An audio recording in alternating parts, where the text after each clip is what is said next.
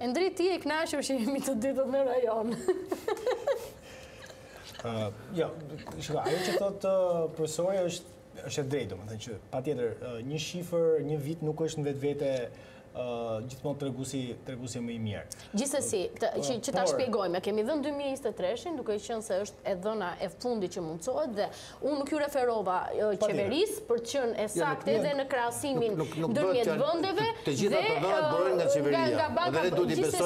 nga banka botërore për të pasur le të themi të njëjtën referencë edhe kundrejt vendeve të tjera. Gjithsesi një krahasim duhet ta bëjmë dhe me vendet e tjera pavarësisht faktorëve specifikë që ndikojnë ashtu siç i përmendi zoti Preçi. Pra për shumë Është Mali i Zi pak më i lartë në dy mijë e njëzet e treshin se ne, por një nga arsyet kryesore pse Mali i Zi ka patur një rritje më të lartë në dy mijë e njëzet e treshin është që rimëkëmbja e Malit të Zi post Covid ka qenë më e ngadaltë deri në këtë vit. Pra, Vërtet Serbia është dy për qind, e ka më të strukturuar ekonominë, nuk e vë njeri në diskutim që rritja ekonomike është. Pak më të madhe të ardhurat për frymë, po.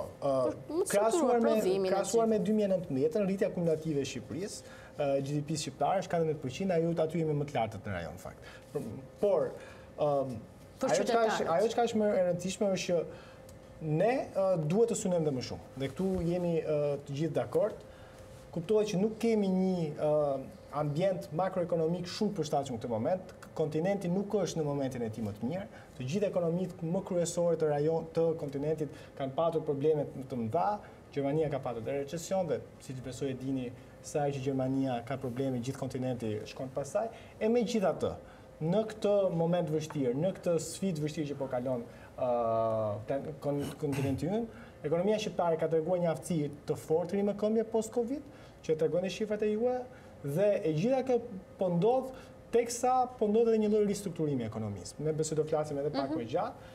Kemi patur një lloj ekonomie të periudhës së tranzicionit që tani qoftë për shkak të shtysave politike, qoftë për shkak të shtysave ekonomike, po transformohet në sektorë që duhet të jenë më produktivë. Jo më duke mbetur te krahu i lirë i punës, por te sektorë më produktivë dhe kjo besoj do jetë edhe kryefjala e viteve që vijnë.